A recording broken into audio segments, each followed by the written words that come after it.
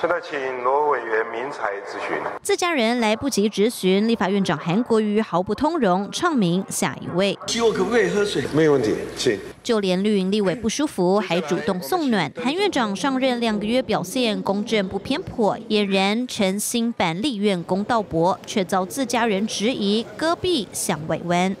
有没有自己的一个私心？说没有是骗人的，他有他的为难之处。也希望韩国瑜院长能够把两边都能够顾好。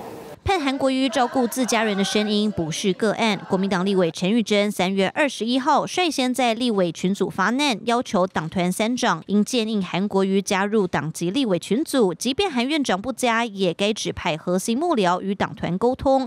连秘书长周万来也被点名不帮忙就算了，也不要扯国民党后腿。议事中立，不表示会议主席。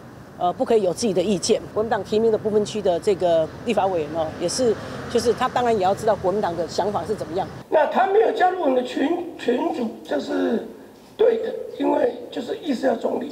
韩国瑜加不加群组，党内有分歧。徐巧芯也直接批评，党内没过问当事人就偷偷放消息，只敢在暗地里碎嘴，真是权势不足，败事有余。不知道真正的老鼠屎到底是谁？外来秘书长在隔天要到立法院来备询，那他的书面报告里面针对国政的资文，他被民进党拿来见不能查证哦，所以呢，律政委员出言提醒，意识不中立。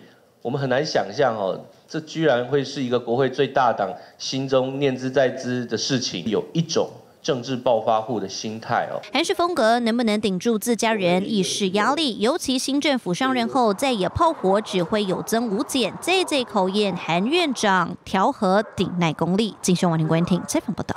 下载静新闻 App，一手掌握新闻时事，尽善尽美，尽好新闻。